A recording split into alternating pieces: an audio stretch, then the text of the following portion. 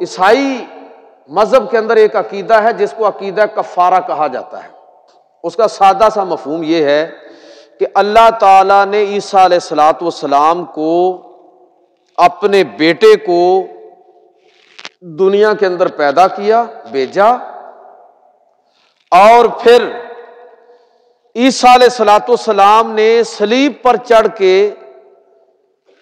तमाम इंसानों की हज़रत आदम सलाम से लेकर क्यामत तक तमाम इंसानों के गुनाहों का कफारा अदा करते हुए सलीब पर चढ़ के वो कफारा अदा कर दिया। ईसाई मज़हब के मुताबिक अकीदा कफारा यह है कि अगर कोई शख्स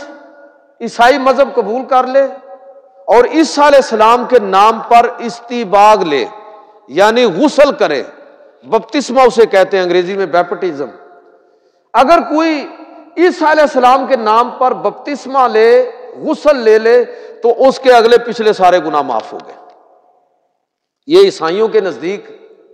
ये अकीदा कफारा है।